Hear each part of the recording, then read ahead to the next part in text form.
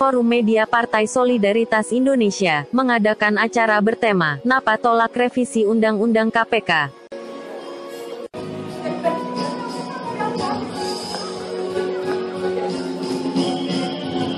Diskusi yang diadakan hari Rabu, 17 Februari 2016 tersebut, berlokasi di Kedai Tempo, Jalan Utan Kayu, Jakarta Timur.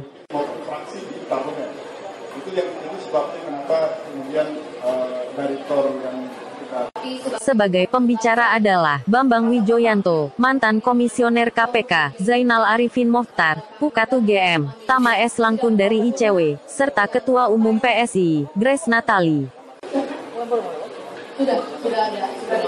Sedangkan moderator adalah Andi Saiful Haq, Direktur Intrans. revisi undang-undang KPK itu terjadi.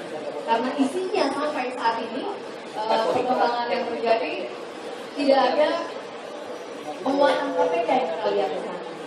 Oleh karena itu, eh, diharapkan diskusi ini bisa ber- Pembicara pertama, Zainal Arifin Mutar mengingatkan bahwa revisi ini awalnya merupakan inisiatif dari pemerintah di saat yang sama keluar RUU pengampunan pajak yang merupakan inisiatif DPR. Kemudian dua kepentingan itu bertemu. Dia juga menyoroti tentang dewan pengawas. Siapa yang akan mengawasi dewan pengawas? Dewan pengawas bahkan berhak menentukan siapa saja yang disadap misalnya. Semua lembaga boleh menyadap termasuk BIN, Kejaksaan, Kepolisian. Tapi napa DPR hanya kebakaran jenggot terhadap KPK? itu kan mekanisme yang ada. Dan negara lain nanti semua begitu kecuali KPU KPU satu-satunya yang punya DKPP tapi ingat DKPP itu hanya betul-betul penegakan etik. Pelaku penyelenggara pemilu Pembicara kedua, Tama S. Langkun menyatakan bahwa keberadaan Dewan Pengawas berpotensi terjadinya konflik kepentingan di KPK sehubungan DPI yang diangkat oleh Presiden. Menurut Tama, publik menolak revisi KPK. Dia juga mengingatkan Jokowi bahwa salah satu poin nawacita adalah memperkuat KPK. kenapa kemudian Dewan Pengawas ini akan punya implikasi akan berbahaya buat KPK atau mungkin bahasa saya melemahkan KPK. Karena yang kita lihat kewenangan dari Dewan Pengawas ini itu justru bisa punya potensi untuk konflik kepentingan atau apa ya bahasanya. Mungkin ada dualisme kepemimpinan di KPK.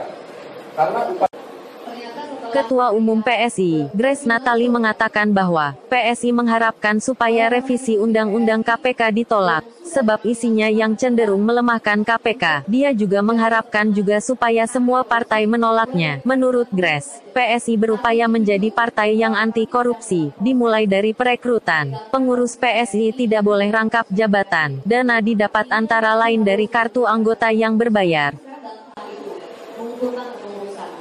Pengurus PSI boleh teman-teman cek sendiri saya tantang kalau ada yang mau cek sampai dengan kecamatan yang sudah kami bentuk pada saat ini semuanya adalah anak-anak usianya di bawah maksimal 45 ketika bergabung dan belum pernah kalian aktif di partai mana pun. Masyarakat yang menginginkan kemudian Pembicara lainnya, Bambang Wijayanto menganggap bahwa para anggota DPR saat ini tidak pantas lagi disebut mewakili Orde Reformasi. Napa tidak dibuat saja yang namanya Orde Korupsi? Katanya, baginya, revisi ini sama sekali tidak berkaitan dengan semangat pemberantasan korupsi, yang tentu tidak sesuai keinginan rakyat.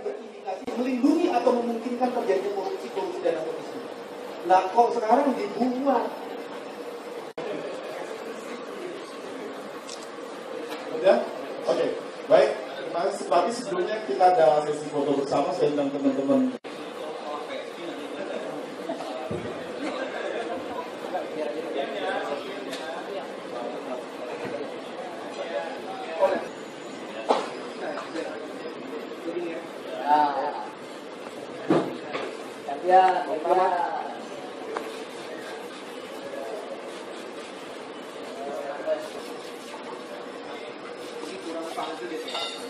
Yang depan gantian, sekarang TV belakang.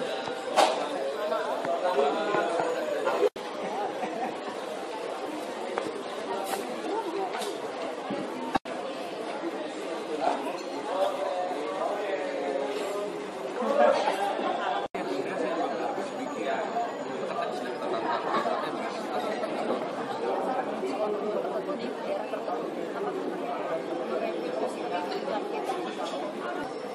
Demikian reporter nomaxtv.com, Nomi, melaporkan dari Kedai Tempo, Jakarta.